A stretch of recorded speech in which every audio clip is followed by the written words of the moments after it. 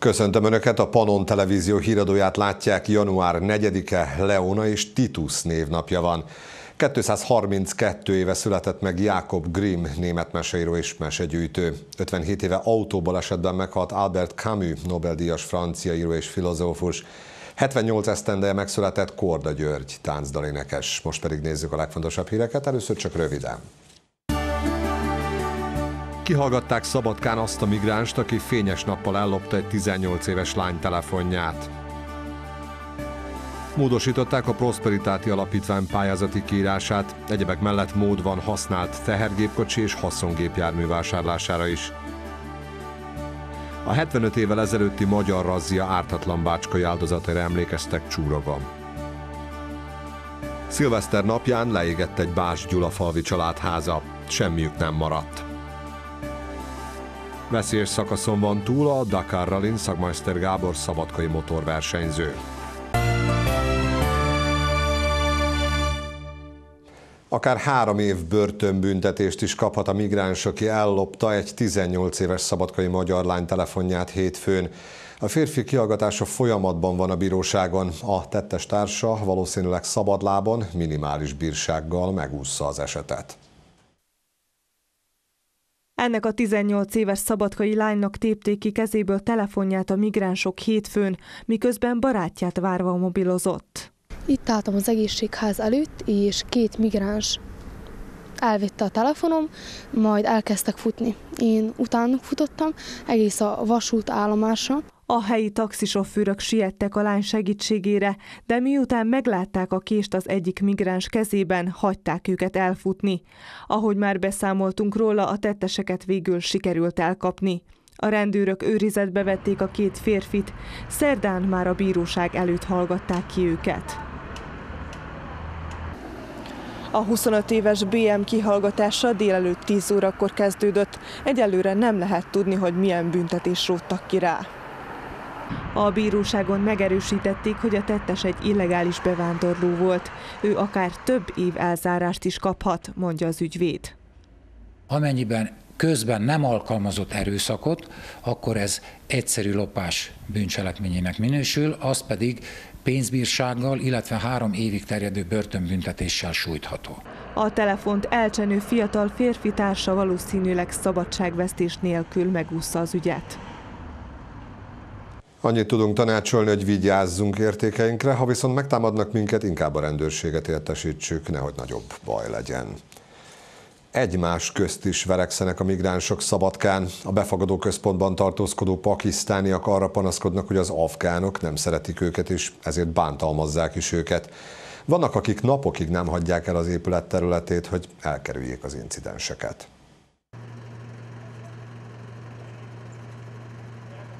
Ivóvizet osztottak a migránsoknak szerda délelőtt a Szabadkai Befogadó Központban. Látszólag teljes a nyugalom. Az épületen kívül viszont gyakori a migránsok közötti összetűzés. Az épületben jelenleg száz személy kap menedéket, közülük többen a városba sem mernek kimenni. Így próbálják elkerülni a nemzeti alapon történő verekedéseket. Uh, some Afghani people they fight uh, with us because we are uh, from Pakistan. They don't like us. A befogadó központban lévő migránsok azt állítják, ők nem bűnözni jöttek, céljuk menedéket kapni egy gazdag európai országban.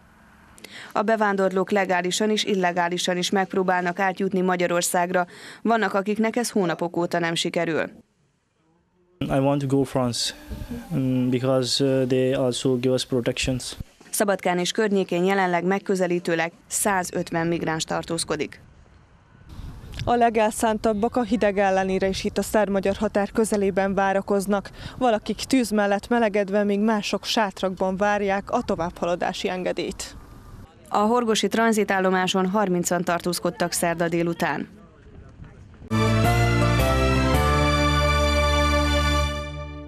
Módosította a szabályzatot a január 31-én záruló pályázati kírásokra vonatkozóan a Prosperitáti Alapítvány.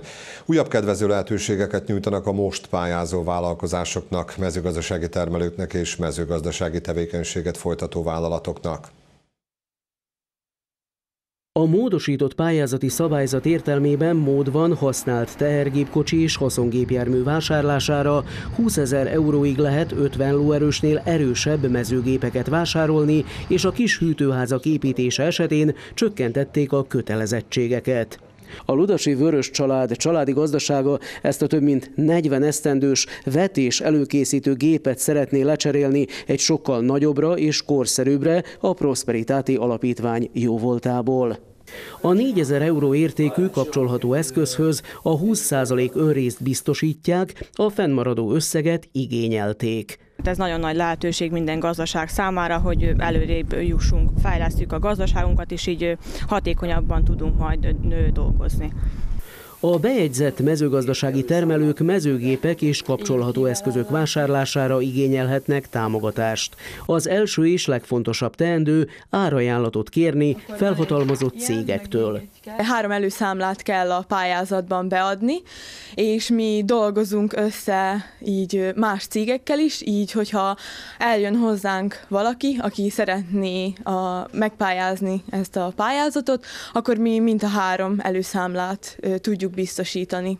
Az új szabályzat értelmében az 50 lóerőnél erősebb, de kizárólag használt mezőgépekre akár 20 ezer eurót is lehet igényelni. Mód van a használt teher- és haszongépjárművek vásárlására is. Kis hűtőházak építése esetén csökkentették a kötelezettségeket. Ez ugye a hitelkonstrukciós pályázatokra vonatkozik, mégpedig a mezőgazdasági fejlesztésekre. Ebben a pályázatban, amennyiben a pályázat tárgya csak ö, hűtőház építése, amely nem haladja meg a 2000 tonnás kapacitást. Ebben az esetben a 20 új állandó munkaviszonyban lévő munkás felvétele helyett csak 5 kell teljesíteni. Tehát 5 új munkást kell felvenniük. A pályázatokat január 31-én 14 óráig lehet átadni a Prosperitáti Alapítvány területileg illetékes irodáiban. 100 ezer dinárra növelnék az elsőszülött gyermekek után járó támogatást Szerbiában. Ez az összeg sokkal több segítséget nyújtana a jelenlegitől, amely 38 ezer dinárt tesz ki. A javaslatot a pénzügyminisztériumnak kell elfogadnia. A családi támogatás minden gyermek számára megnő majd, de nem egyenlő arányban. Az egyes kategóriák számára továbbra is egyszerre fizetik majd ki a támogatás összegét, mások számára nem. Legnagyobb segítséget pedig az első szülőt gyermekek szülei kapnak, míg a második és harmadik gyermek után járó támogatás összegét is megnövelik, de kisebb arányban, írja Vecsernyena Vaszti. A szerb parlament múlt héten elfogadta azt a törvénymódosítást, amelynek értelmében megszűnik a babatáp és babaholmi után járó adó visszaigénylése. 75 évvel ezelőtt a Sajkásvidéki Csúrogon vette kezdetét az 1942-es januári hideg napok, azaz a délvidéki razzia. Amit egy tízezer lakosú faluban történt mészárlásnak közel 900 ártatlan szerb és zsidó áldozata volt. Rájuk emlékeztek ma kivégzésük helyszínén a Csurogi Topalov raktárban. Gyászmisével kezdődött Csúrogon a 75 évvel ezelőtti magyar razia ártatlan bácskai áldozataira való emlékezés.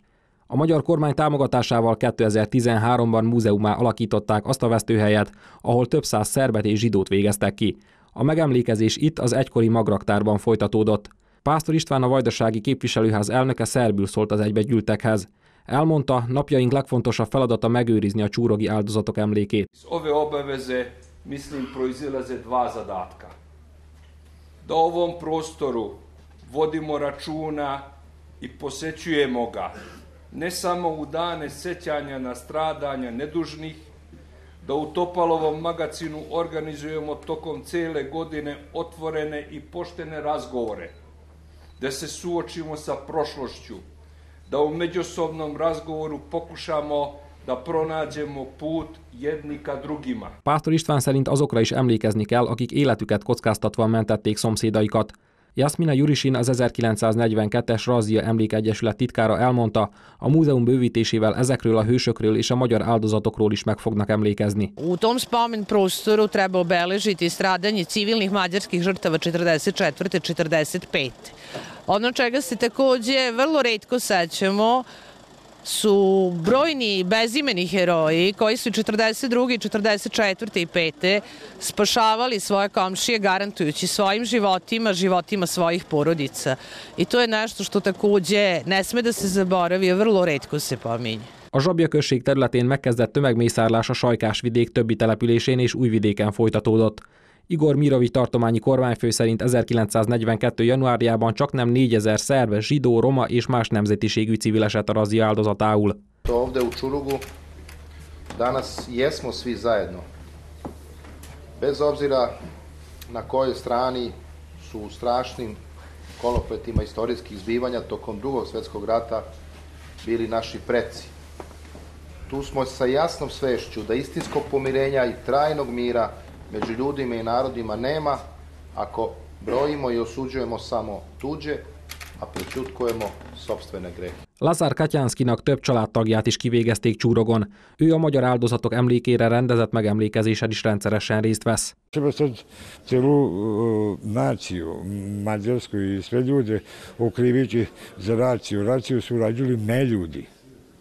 Zli ljudi ko, koji nisu razmišljali. Kao što, se, kao što se to desilo i 44. godine. Tomislav Nikolic szerb és Áder János magyar államfő 2013-ban közösen hajtott fejet Csúrogon a két nemzet áldozatainak emléke előtt. Azóta ezt a történelmi megbékélés gesztusaként tartják számon. A mostani megemlékezésen jelen voltak a szabadkai magyar főkonzulátus képviselői is.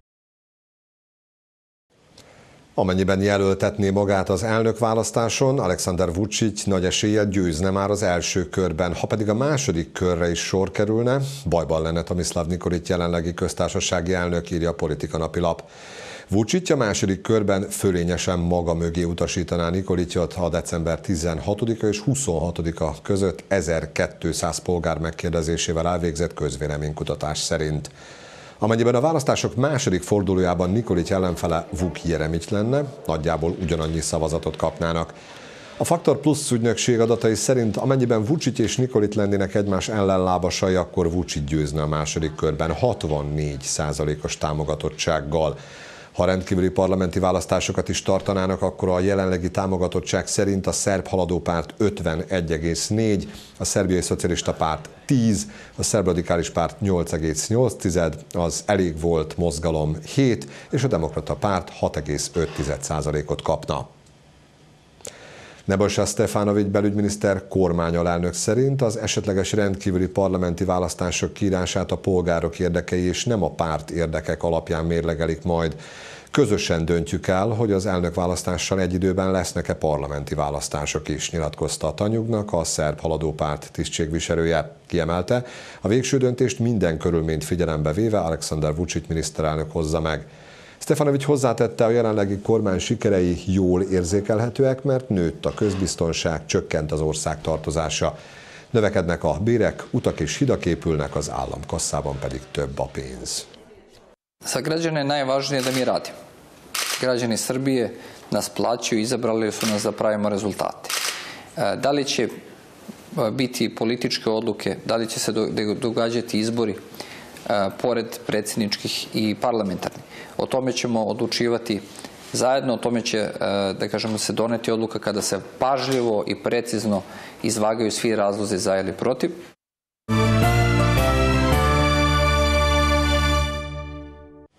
Tragikusan fejeződött be a 2016-os év a Bács Gyulafalvi Zsigovics házaspár számára. Szilveszter napján leégett a családi házuk. Szerencsére személyi sérülés nem történt, a ház lakhatatlanná vált, egy életmunkája veszett oda. A helyiek gyűjtést szerveznek a család megsegítésére. Szénné égett gerendák, tönkrement televízió az udvaron, betört ablakok. A tűzeset során az egész tetőszerkezet kiégett. Zsigovicsék családi házát pillanatok alatt felemésztették a lángok. A tűz kiváltó okát még jelenleg sem tudják.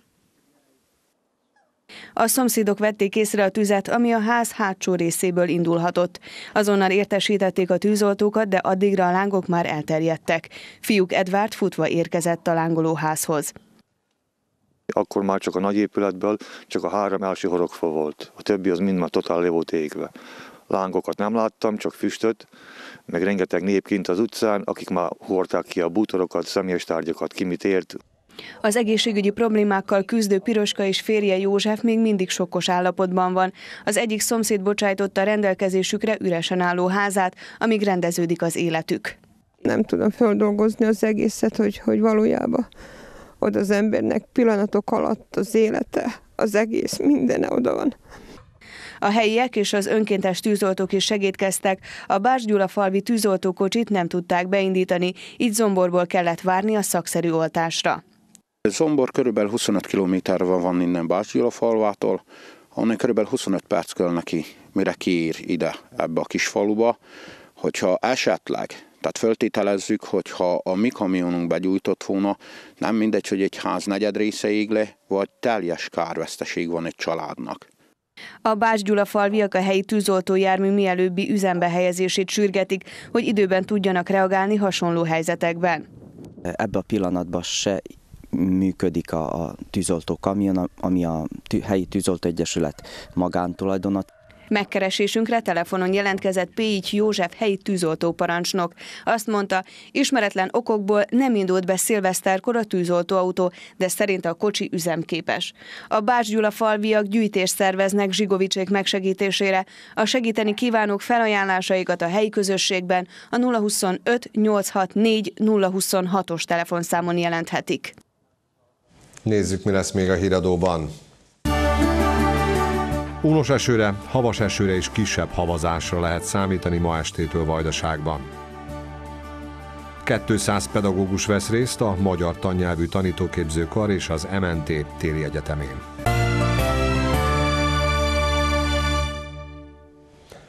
Újabb és újabb részletek derülnek ki az isztambuli támadás feltételezett elkövetőjéről, aki a rendőrség szerint videót készített magáról az isztambuli Taksim téren.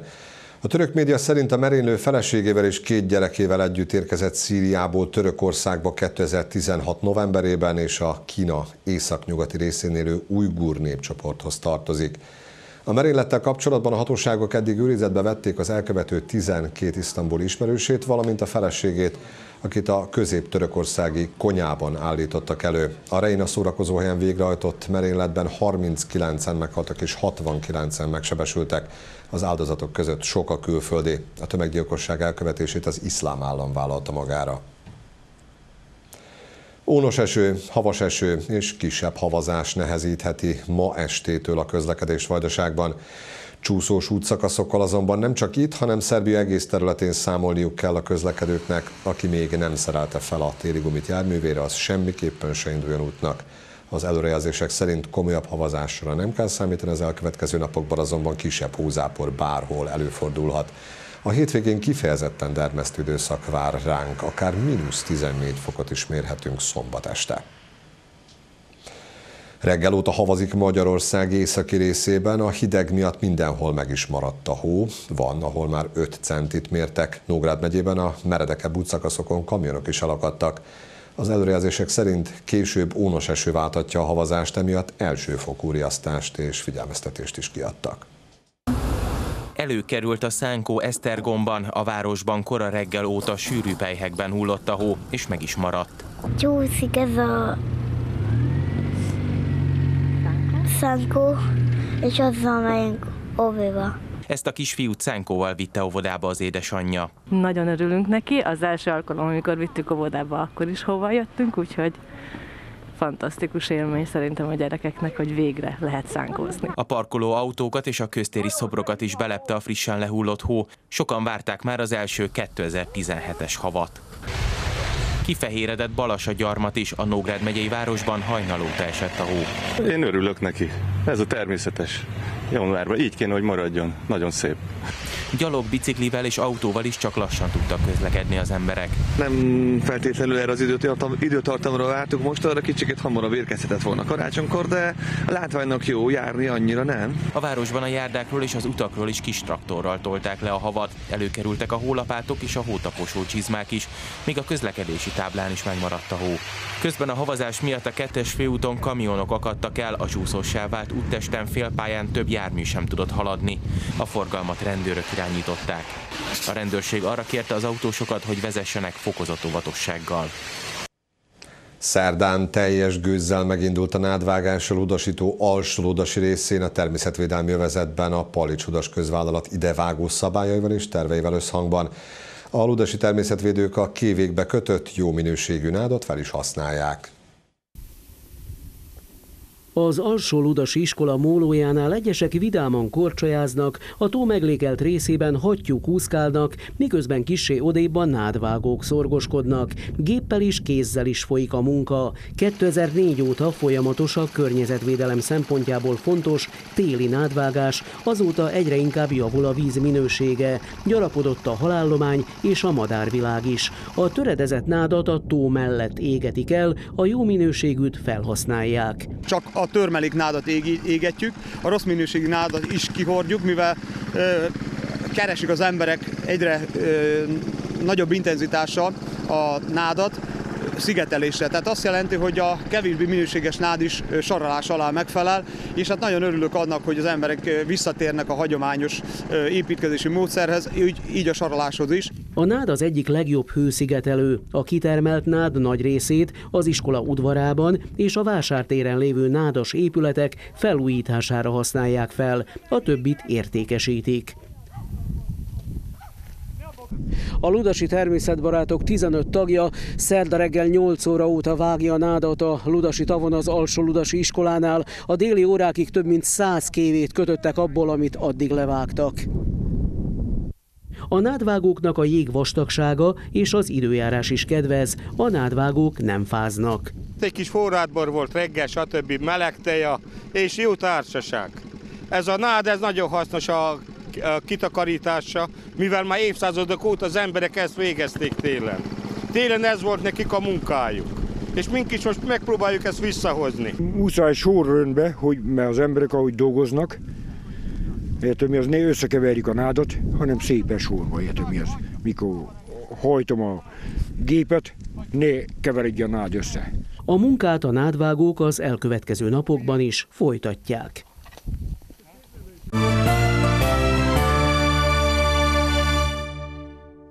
Szinte teljesen elkészült a Szabadkai Ágó Mámozsity utca. Az adóval együtt 8 millió dináros beruházás keretében a Szabadkára jellemző sárga téglák mellett 224 négyzetméteren a régi átválogatott kockatéglák is helyükre kerültek. Amit enyhébb lesz az időjárás, az autós forgalom számára is megnyitják az utcát. A gyalogosok már bátran sétálhatnak a 128 méter hosszú új burkolaton. Akik erre járnak, különböző színű és formájú téglákat fedezhetnek fel a lábuk alatt. Az utca körülbelül két hónap alatt készült el. A Szabadkai Városi Képviselőtestület elnöke Bumfor Tivadar megdicsérte a kivitelezőket, akik az zord időjárás ellenére is dolgoztak. Tényleg egy olyan környezetet, egy olyan utcát kaptak a szabadkaiak vissza, amely a lelkét képezi a régi Szabadkának. Tehát én úgy gondolom, hogy még jó néhány ilyen utca van itt a központban, amit fel kellene újítani, és itt talán ilyen kis művészkávézók, antikváriumok nyílhatnának, ahol tulajdonképpen összetudnának jönni a szabadkaiak, nosztalgiázni, beszélgetni, barátkozni. Az utca felújítása több akadályba is ütközött. A galagonya és ostorfákat ki kellett vágni, és bizonyos részeken a vízvezeték hálózatot is fel kellett újítani. A kedvezőtlen időjárás miatt egyelőre még nem tudni, hogy az autós forgalom számára mikor nyitják meg az utcát az autók egy picit később tudják majd birtokba venni, hiszen mivel említettem, hogy ilyen áldatlan meteorológiai körülmények között folyt az építkezés. Előfordulhat, hogy a fagyok elmúltával itt-ott egy-egy kocka kimozdul, ezt a kivitelezők szeretnék majd átnézni, kiavítani, és utána átengedni teljesen a, a forgalomnak is, hiszen itt az itt lakóknak és az itt dolgozóknak jó néhány parkolóhely lett kialakítva. A Szabadkai Városi Képviselőtestület elnöke elmondta, hogy nem marad fák nélkül az utca. Hamarosan galagonya és ostorfákkal ültetik be az arra kijelölt helyeket, így az Ágóma Muzsigy utca a város egyik leghangulatosabb utcája lehet. Több Szabadka környéki település útjainak felújítása is benne van a város idei költségvetésében, mondta el a Pannon RTV-nek a Szabadkai VKT elnöke. Egyebek mellett kiaszfaltozzák a Csantavéri Vörös Csillag utcát, a Ludasi Újsort és Tavankút két utcáját is. A beruházások megvalósítására nagy szüksége van a helyieknek, ezért 2017-ben már biztosan megvalósulnak, tette hozzá Bunforti Vadar. Mintegy 200 pedagógus vesz részt a magyar tannyelvű tanítóképzőkar és az MNT téli egyetemén három nap alatt 10 akreditált képzést szerveznek. A pedagógusok egyebek mellett környezeti nevelés, interaktív matematika és elsősegély továbbképzés kurzusokat is hallgathatnak. Az iskolákban sokszor fordul elő kisebb baleset. Fontos, hogy a pedagógusok felkészüljenek az ilyen esetekre. Általában a tapasztalatok ugye azt mutatják, hogy egy ilyen pánik hangulat szokott előfordulni az iskolákban. Különböző szabályzatok vannak, ugye, amik arra vonatkoznak, hogy a tanulóknak, illetve a tanároknak milyen fajta dolgokat kell végezniük, hogyha valakivel valami történik, hogy a gyerek nem mehet egyedül el orvoshoz, kívják a mentőket, stb. Az elsősegély oktatás mellett kilenc további akreditált képzést tartanak a magyar tannyelvű tanítóképzőkaron. Námesztovszki Zsolt, az intézmény dékán helyettes elmondta, az ilyen események nagyon jó alkalmak a tapasztalatcserére. Amikor a pedagógusok befejezték az egyetemet, azóta változtak dolgok, tehát megjelentek új tartalmak, új elvek, új módszerek, és akkor ezért fontos, hogy eljöjjenek, esetleg frissítsék a tudásukat. Az idei téli egyetemet a Magyar Nemzeti Tanácssal együttműködve szervezték meg. Ezúttal a Magyar Nemzeti Tanács az osztálykirándulás programunkban résztvevő osztálytanítókat szólította meg. 225-öt, ennek több mint fele elfogadta a mi felajánlásunkat, hogy a Magyar Nemzeti Tanács finanszírozza az ő továbbképzésüket. Szabadka mellett még három városban, Zentán, Nagybecskereken és Újvidéken szerveznek továbbképzést a közoktatásban dolgozóknak.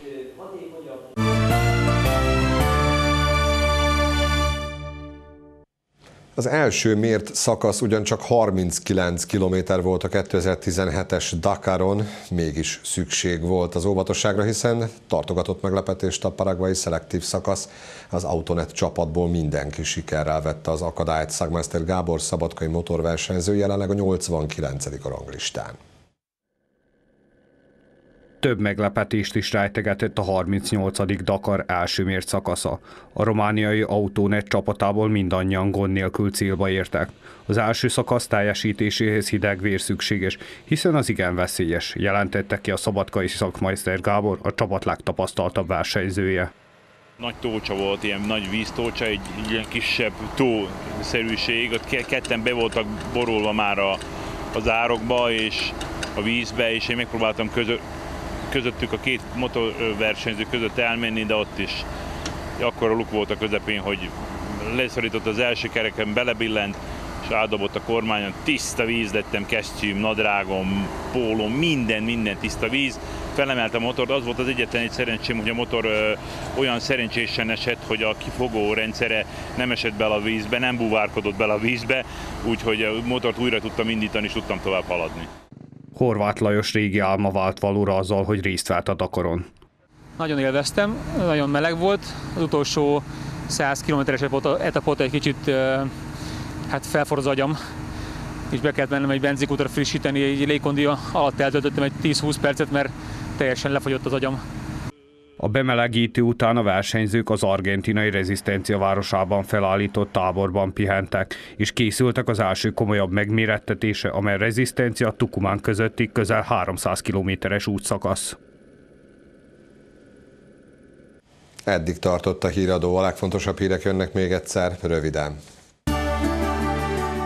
Kihallgatták Szabadkán azt a migránst, aki fényes nappal ellopta egy 18 éves lány telefonját. Módosították a Prosperitáti Alapítvány pályázati kiírását, egyebek mellett mód van használt tehergépkocsi és haszongépjármű vásárlására is.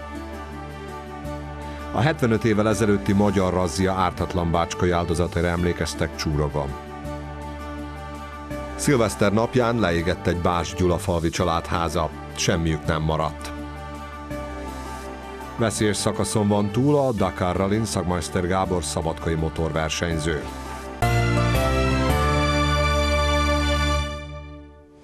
Köszönjük figyelmüket, amennyiben még több hírre kíváncsiak, látogassanak el honlapunkra, pannonrtv.com-ra maradjanak továbbra is velünk viszontlátásra.